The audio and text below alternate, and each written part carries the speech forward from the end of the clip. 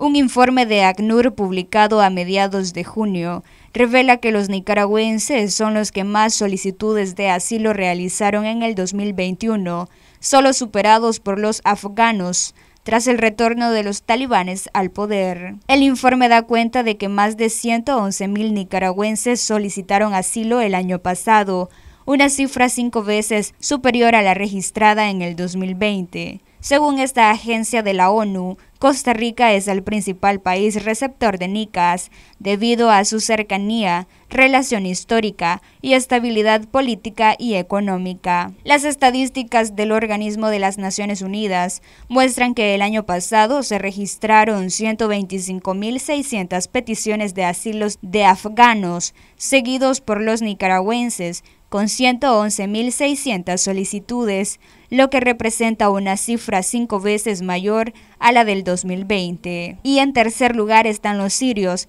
con 110 mil postulaciones. Según ACNUR, casi 84 millones de personas se vieron obligadas a dejar sus países de origen en todo el mundo como resultado de persecución, conflicto, violencia, violaciones a los derechos humanos y acontecimientos que alteran gravemente el orden público. El informe de ACNUR también revela que el año pasado se registraron grandes aumentos en las peticiones de asilo en Alemania, México, la República Democrática del Congo y Costa Rica.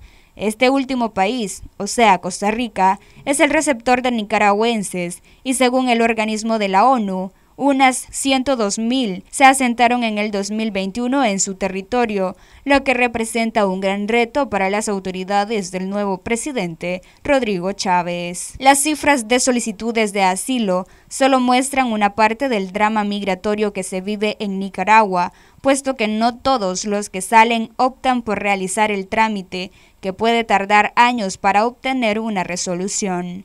La migración de nicaragüenses a Estados Unidos este año ha impuesto un nuevo récord. 84.055 migrantes llegaron a ese país entre enero y junio de este año, según la última actualización de la Oficina de Aduanas y Protección de Fronteras. Para Noticias 12, Luisa Centeno.